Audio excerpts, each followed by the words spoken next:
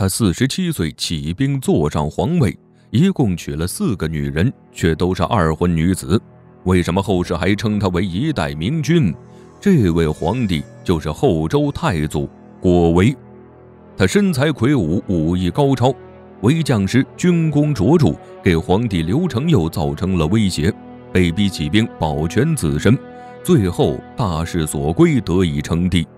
有权有势的郭威为何独爱寡妇呢？他又是一位怎样的皇帝？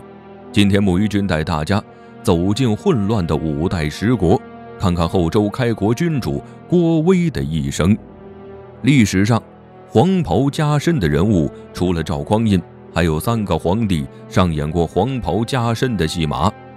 一个呢是唐明宗李嗣源，一个是唐废帝李从珂，最后一个就是后周太祖郭威。其实啊，赵匡胤是两次黄袍加身事件的当事人，只不过呢，他一次是主角，另一次是配角。很多人不知道，赵匡胤曾是郭威的部将。郭威能在乱世中立足，还要感谢他的姨母。他的家庭遭遇了很大的变故。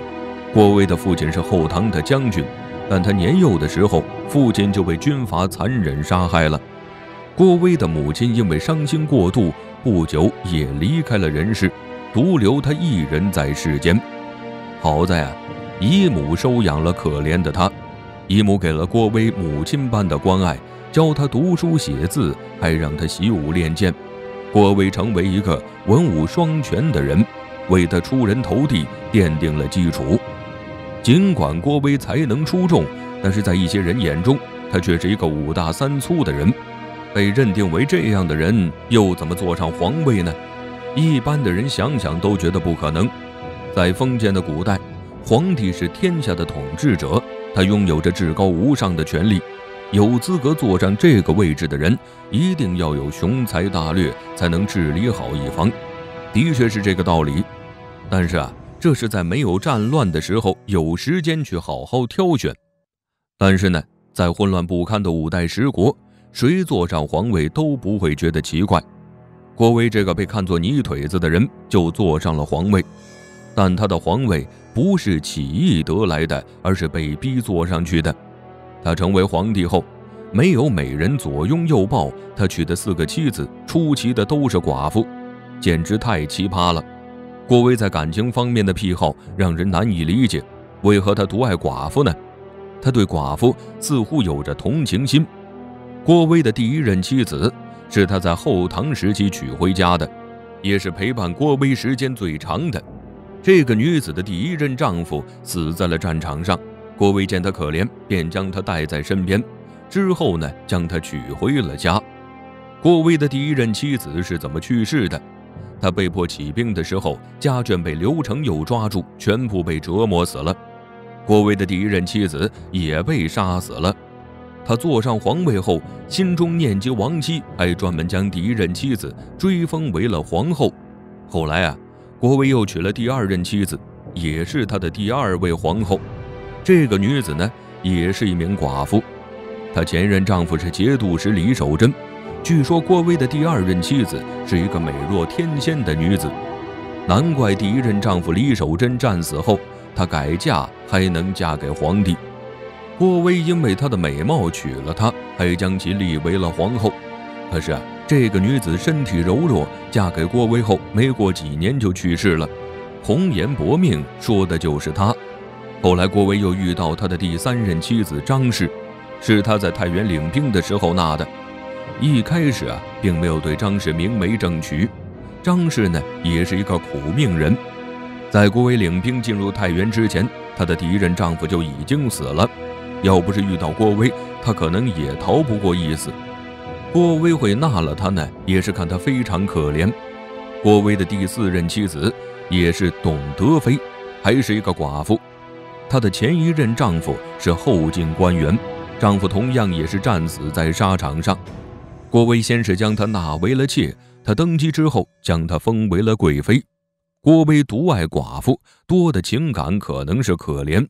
乱战让其失去了丈夫，第二任妻子是因为美貌娶回了家。郭威有这样的同情心呢，是因为自己也经历了很多，他建业的过程相当不容易。成年不久，郭威就听说李继涛的军队招募士兵，他年纪轻轻，却在一群壮汉中脱颖而出。张继涛很欣赏他，还让郭威做了他的亲兵。要想在军中混得开呢，就要和军中的人打成一片，什么喝酒啊、赌博都染上了。郭威也形成了不拘一格的气性，但是他仍然保持着善良的心，只是啊多了一些锋芒。一次呢，他在集市上看到屠夫欺负良民，他打听后得知，这个屠夫是这片的恶霸，附近的百姓都害怕他。郭威便故意找他的茬儿，屠夫被惹得发怒，他突然扯开自己的衣服，露出自己巨大的肚子，想要将郭威吓退。郭威等他露出肚子，他不慌不忙地抽出腰间的剑，一刀插进了屠夫的肚子，他当场就毙命了。郭威呢，也算是做了一件好事儿。郭威在李继涛军中待了几年后，又去到了哪里呢？后来李继涛的军队被收编到李存勖的部队中，郭威也就成为了后唐军队中的一员。他凭借自己的努力。在军中得以升迁，成为了李存勖的亲兵，得到了更多上场作战的机会。在之后，郭威又帮助李成佑坐上了皇位，立下大功的他获封后汉朝的枢密使，掌控了后汉的兵权。郭威手中的权力越来越大，他虽身处乱世，但也成就了自己，这就是所谓的时势造英雄吧。郭威掌握大权是一件好事儿，但也是一件坏事，因为将领的权力太大，会威胁到皇帝的统治。刘承佑刚坐上皇位的时候还没意识到，但是一段时间后呢，他感觉到了郭威的威胁，再加上奸人的挑拨，刘承佑就更加不安了。他串通自己的亲戚，想要除掉郭威，怕事情败露。刘承佑非常的谨慎，但还是被郭威察觉了。他其实没有反叛之心，但是啊刘承佑还是要置他于死地。那皇帝不仁，就不要怪将士不义了。郭威打出清君侧的旗号，在所在的地方起兵反抗。刘承佑看着来势汹汹的郭威，没有能力抵抗，便将他的家人抓了起来。为了逼郭威撤军，刘承佑一个一个将他的家人处死，就连婴儿都不放过。这一下啊，把郭威彻底激怒了。这时的他也没有了顾忌，带着军队杀向刘承佑。杀到后汉都城后，郭威也显露了自己的野心。事情都到这一步了，不除掉刘承佑，将来对自己没有好处。乱世之中，谁坐上皇位那都是合理的。后面呢，便上演了一场黄袍加身的戏码。郭威大军到儋州时，他的部下发动兵变，对郭威黄袍加身，然后他赶到开封，让太后颁诏，名正言顺地攻打刘承佑。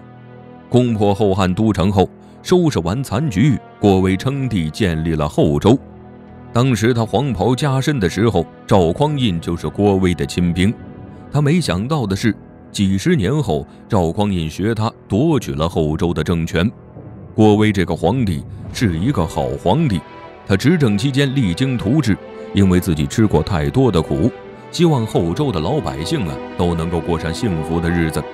他提倡节俭，皇宫中的用度能缩减就缩减，皇帝以身作则，后周上下一片清正风气，这都是郭威的功劳。他让老百姓有地种，修建水利，灌溉农田。还减免了赋税，加强军事操练，使后周成为五代十国中最厉害的政权，没有人敢随意侵犯。从郭威的所作所为来看呢，他是一位好皇帝。可惜的是，他没有儿子。驾崩之后，将皇位传给自己的侄子柴荣。他也没有辜负郭威，将后周治理得很好。他在位期间。还差点收回了后唐时期割让出去的燕云十六州，可惜的是，柴荣作战过程中身受重伤，不得不放弃。郭威以身作则，教养出来的柴荣也是一位明君。郭威的一生很传奇，给人的感觉非常的踏实。做将士的时候勇敢杀敌，做皇帝的时候呢，为百姓带去曙光。虽然郭威在情感方面有点奇葩，但不妨碍他成为一代明君。